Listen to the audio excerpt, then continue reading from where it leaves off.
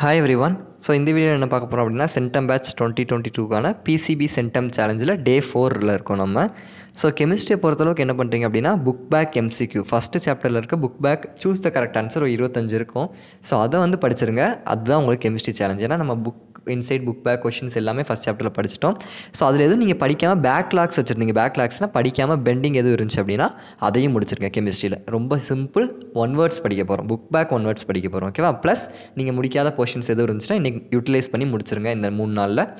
Okay so next physics பார்த்தீங்க அப்படின்னா மூணே மூணு ஃபைவ் மார்க் படிக்க போகிறோம் அப்படியே expression for potential energy due to dipole in uniform electric field இது ஒரு five mark question page number thirty five and thirty six second question obtain the expression for electric field.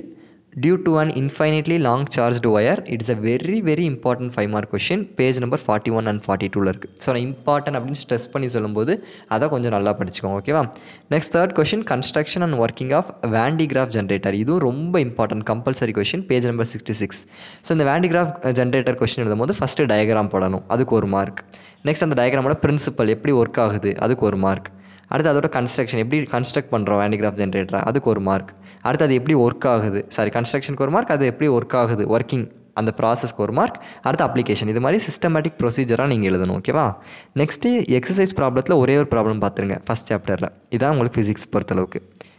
Next பயோபாட்னியை பொறுத்தளவுக்கு enumerate the characteristic features of entomophilous flowers இது three மார்க்லையும் கேட்பாங்க five மார்க்லையும் கேட்பாங்க seventeen பேஜில் இருக்குது second question discuss the steps involved in microsporogenesis இது ஒரு three mark question third question characteristics of ornithophilous flowers இதுவும் three mark question page number sixteen next fourth question ரொம்ப இம்பார்ட்டன்ட் போன வருஷம் பப்ளிக்கில் கேட்டிருந்தாங்க. Entry of pollen tube into ovule ஒரு மூணு பாயிண்ட் இருக்கும் ப்ளஸ் டயக்ராம் ஸோ அது sometimes five mark sometimes three mark nineteen பேஜில் இருக்குது பயோசுவாலஜி பார்த்தீங்கன்னா அதே மாதிரி தான்.